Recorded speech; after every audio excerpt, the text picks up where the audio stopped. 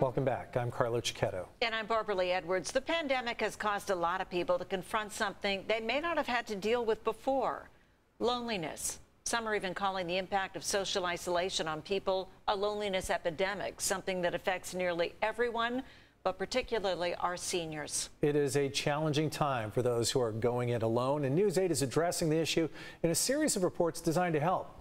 News 8's Kelly Hessedal takes a closer look at the toll the pandemic is taking on the physical and emotional health of seniors and organizations that are trying to help this holiday season.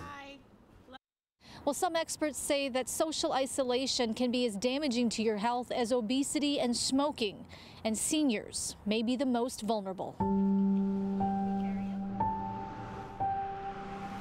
A glass window separates Sarah Jokum and her family from her 91-year-old father.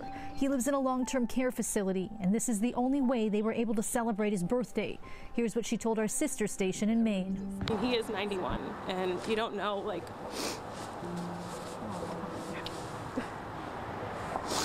You just don't know what tomorrow will bring. Sadly, families across the country and right here in San Diego know the pain her family is going through because they're going through it too. Think of these families, you're right, in you know, going to trying to see loved ones, seeing them through glass or seeing them through a distance. Uh, it's heartbreaking. Joe Gavin is part of the San Diego Seniors Community Foundation, an organization working to help seniors avoid isolation. He says now more than ever, seniors need support. A holiday season can be, be difficult for seniors uh, as it is, but even more so now during this, uh, these extraordinary times. A new report from the AARP Foundation finds that social isolation among seniors has reached epidemic levels during COVID-19. A study from the National Academies of Sciences, Engineering, and Medicine shows that nearly one-fourth of adults aged 65 and older are socially isolated. These older adults may have up to a 29% increased risk of heart disease and up to a 32% increased risk of stroke.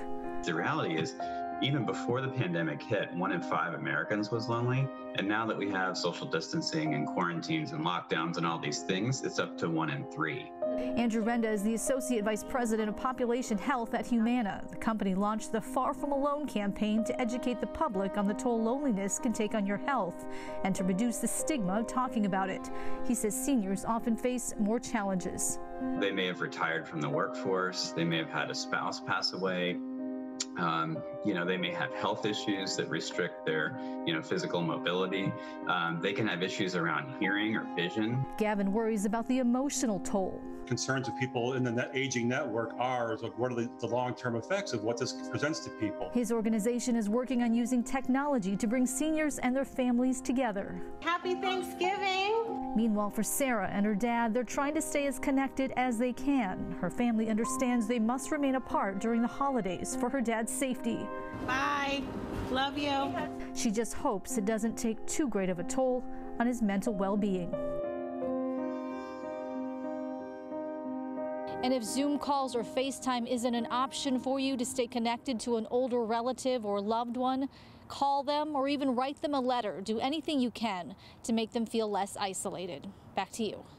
Thank you, Kelly. And if you are a senior looking for ways to connect or your loved one is a senior who is struggling, we have several resources that can help. Just go to our website, cbs8.com, and click on the Help button.